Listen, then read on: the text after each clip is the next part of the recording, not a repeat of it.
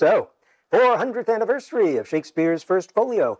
How are you going to be celebrating? We are issuing a meticulously researched edition footnoting every word of every line of every play, using only the most authentic verses culled from the first, second, and third. But wasn't the first folio uh, published according to the true original copies?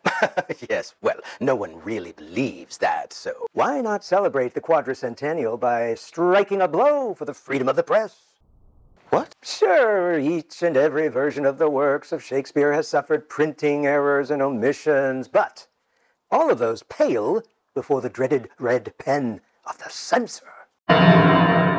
Complaints about lewd liberty and bawdy, filthy rhymes of the nastiest kind led to a series of censorship laws, including the draconian bishop's ban.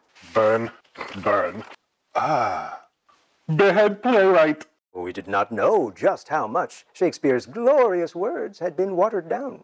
Until now, thanks to tireless research in Jacobean pubs scattered throughout England, we have pieced together the definitively reconstructed compilation of the complete uncensored works, The Filthy Folio.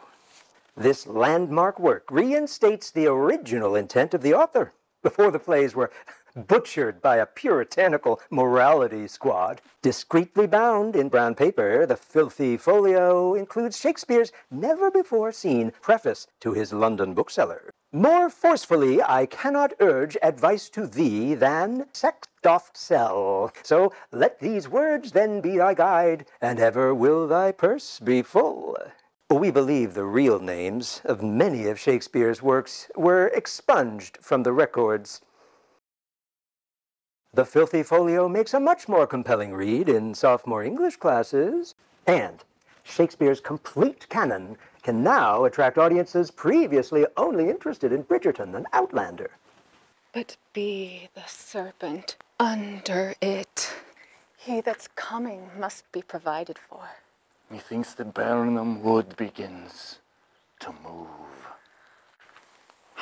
You're hanging blatant conjecture on a handful of historical tidbits. Just like when the single engraving in the first folio made seven years after Shakespeare died was reimagined into countless pictures. Not the same thing. And when a dozen or so boring legal and financial records were creatively stretched into countless biographies of Shakespeare, like this one, this one, this one. Stop doing that. The 2023 Filthy Folio.